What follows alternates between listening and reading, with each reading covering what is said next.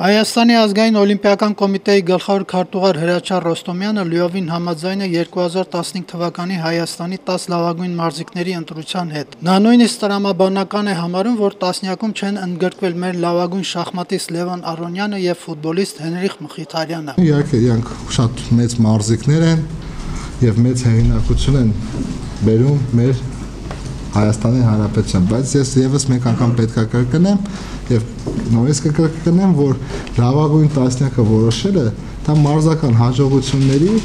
եւ մարզական ձեռքբերումների ամփոփումն է տարվա։